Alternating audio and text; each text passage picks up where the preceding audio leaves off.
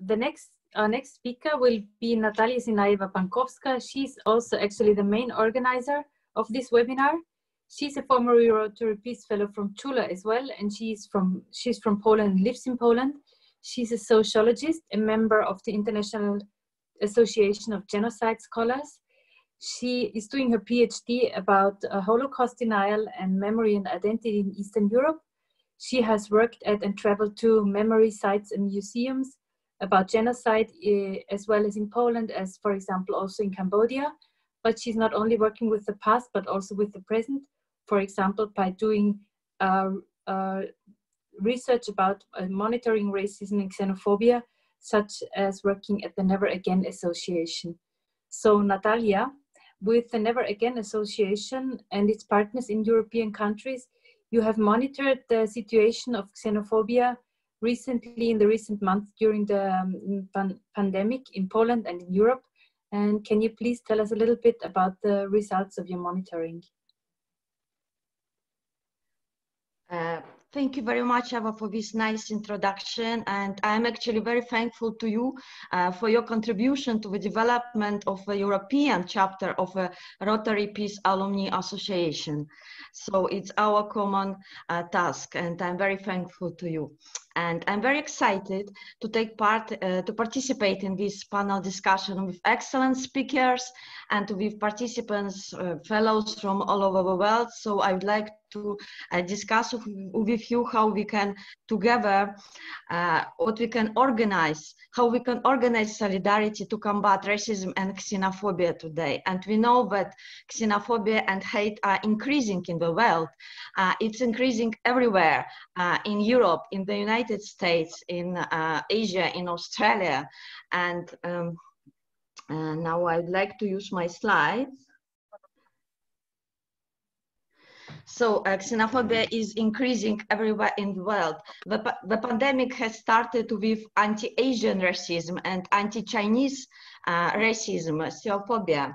Uh, but as we can see, it's not a problem only of a one group. It's not a problem of a particular group, certain group, but it is a problem of a society. And in this society, every group, it concerns every group in the society, depending also on the historical, social, and political context.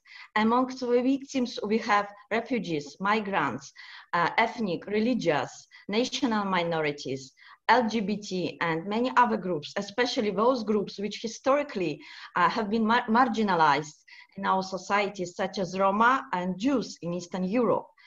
Uh, the hate uh, has been spread by uh, traditionally far right groups, uh, but today also by mainstream actors, including media, explicitly or implicitly, uh, often by using allusions or over lexicalization when we mention the name of a certain group many times in a negative context, but without explicitly blaming it.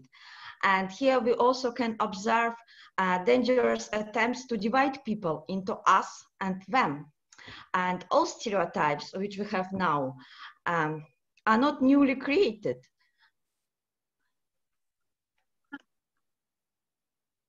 Uh, all stereotypes are not newly created, and it is um, historically, they were historically constructed and used for many centuries before. For example, anti-Semitism or hatred against Jews. Uh, here we can see all historical elements of conspiracy theories, and we can when we cannot see the enemy, we, when the enemy is invisible, such as a virus, um, the conspiracy theories are easily being created. Uh, going back to history, for example, during the Black Plague in the Middle Ages, Jews were accused of intentionally spreading the disease by poisoning wells in Europe, and they were persecuted and expelled from towns because of this. They were also accused of blood libel or ritual murder of Christian kids to use their blood for ritual purposes. And actually, how did Jews arrive to Poland? They arrived, they started arriving to Poland and to Eastern Europe uh, in the Middle Ages when they were expelled from Western Europe, where they were persecuted in Western Europe because of a Black Plague, when they were accused of poisoning wells and of um, uh, spreading the disease. So they started to come to settle uh, in Poland and in Eastern Europe, and it was a safe place for them at that time. So, uh, so we need also to think about history and think how we can um, put this, um, our contemporary situation in this uh, historical context. And uh, during the Second World War, uh, the Nazis used propaganda to scapegoat Jews who allegedly spread typhus and lies. So there were many, many such uh, examples. So we can see how the mechanism of transferring the guilt to others, to minorities, uh, functions and how we can apply this historical framework to the current situation. For example, we can go some, somewhere outside of Europe. Uh, let's take India as an example, where the biggest religious minority Muslims are accused of spreading the pandemic and attacked on this ground. And the hatred is also supported and spread by the media. Uh, we can also apply this historical frame to Roma people in Europe, a disadvantaged and marginalized group uh, who have been accused of spreading the diseases throughout history and also today during uh, the COVID-19. Uh, it happened, for example, recently in Slovakia, and it also happened in Romania, and it happened in Bulgaria. So the same mechanism of xenophobia and exclusion is applied to refugees also across the world. Uh, for example, Rohingya refugees. In many cases, refugees suffer also from the lack of medical care and they live in extremely difficult conditions with no access to protective measure, uh, basic services such as water, uh, no information. So we can also think about refugees in this, uh, in this context.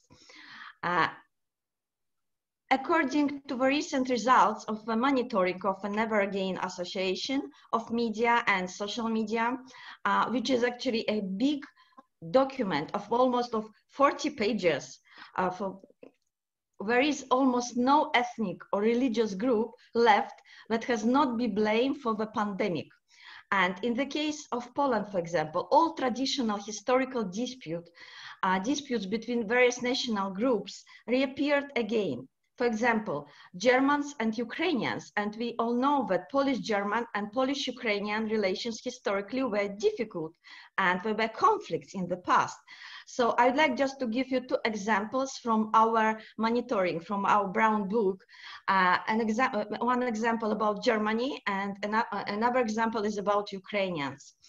Uh, a post on social media says, Germany should stop lying to Europe about coronavirus. Every Pole who does who goes there and comes back is infected with the German virus. Everyone says that they are the main source of a virus. Another example is about Ukrainians. Uh, and it is an example of discrimination. When the young man tried to enter the store, uh, the security guard asked him if he was Polish or Ukrainian. And when he replied that he was Ukrainian, he was told that he couldn't go inside the shop because of the coronavirus. So, and there are many, many uh, such examples which we can also uh, present and we publish uh, our monitoring. Uh, you can visit and uh, find it on our website online. Um, so uh, uh, so I also you can you can see a website you can also visit it and you can see more information and find it there. And now we have heard very many examples about uh, how hatred develops or how hatred is treated for a long time. Can you also have or tell us some positive recommendations about how to go about it, how to deal with the problem now and after the pandemic? Uh, first, uh, first of all, what we need uh, for this moment is global solidarity and global stance against racism and xenophobia. Of course, awareness raising campaigns are important. Uh, hate is mostly directed against marginalized, vulnerable groups. Uh, population should be educated about existing stereotypes against such groups, uh, about anti-Semitism, about Islamophobia, uh, anti, uh, anti-African racism, uh, and related to them stereotypes. So awareness raising campaigns are important. And uh, we can use different methods, tactics uh, to, to deal with uh, racism and xenophobia. And for example, here in Poland, uh, in, uh, with my organization, we use uh, we try to use different cultural resources such as music, art, and sport to engage young people, to engage them to be more involved uh, to um, uh, against racism. And uh, we are going also to develop a topic uh, during the Peace Incubator project uh, in Geneva this November. the topic how we can use cultural resources for peace. And we should pay more attention to projects online. And digitalizations help us to increase distribution of cultural resources to a broader audience. So it's very important also to, to use different, uh, different uh, opportunities which we have today. Uh, we can have also transborder projects. And it's very important in the context of Poland today, in the context of uh, rest of Europe. Uh, uh, for example, we can have Ukrainian Polish or Polish German projects, but it also can be done in other regions of the world to reduce hate and promote positive aspects of common history and peace. Thank you very much, Natalia.